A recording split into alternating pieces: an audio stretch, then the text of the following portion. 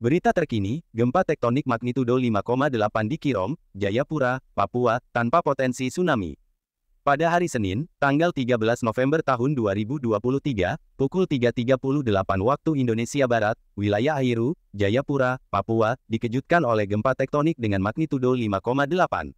BMKG melakukan analisis mendalam terhadap kejadian ini, mengidentifikasi epicenter gempa berada pada koordinat 364 derajat lintang selatan, 140,38 derajat bujur timur, terletak di darat wilayah Airu, Jayapura, Papua, pada kedalaman 48 km.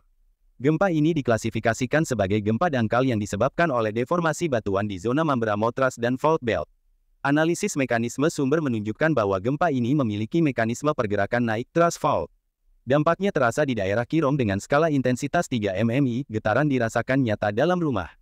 Terasa getaran seakan truk berlalu, dan di daerah Jayapura dengan skala intensitas 2 mmi, getaran dirasakan oleh beberapa orang, benda-benda ringan yang digantung bergoyang. Meskipun berdampak, hasil pemodelan menegaskan bahwa gempa ini tidak berpotensi tsunami. Hingga pukul 4.10 waktu Indonesia Barat, BMKG belum mendeteksi aktivitas gempa susulan aftershock.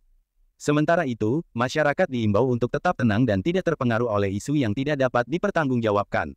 Disarankan untuk menghindari bangunan yang mungkin retak atau rusak akibat gempa, serta memastikan keamanan bangunan sebelum kembali ke dalam rumah. Rekomendasi terakhir adalah untuk mendapatkan informasi resmi hanya dari sumber terpercaya, seperti BMKG, yang menyebarkan informasi melalui saluran komunikasi resmi yang telah terverifikasi. Semoga informasi ini membantu dan memastikan keselamatan masyarakat setempat.